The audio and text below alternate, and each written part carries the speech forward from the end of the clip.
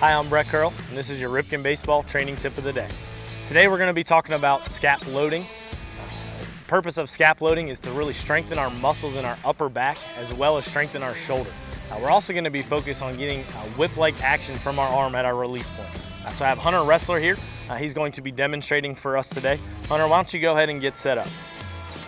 As you can see, Hunter is gonna set up uh, in his release point position.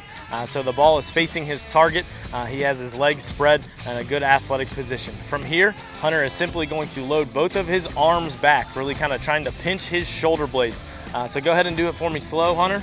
Very good. As you can see, this arm comes straight back. Once Hunter gets that uh, scap loading position from here, he's going to get that whip-like action in his arm, and he's gonna go ahead and throw. Go ahead and throw, Hunter. Very good.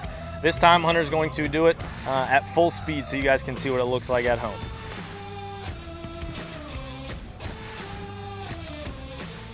Very good, Hunter. And that is scap loading the Ripken way.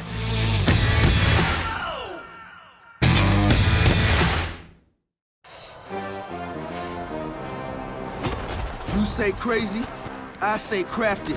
You say savage, I say practiced.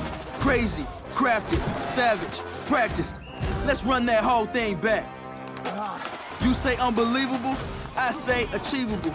You say incredible, I say inevitable. Unbelievable, achievable, incredible, inevitable. Let's run that whole thing back. Carbs to compete, electrolytes to replenish.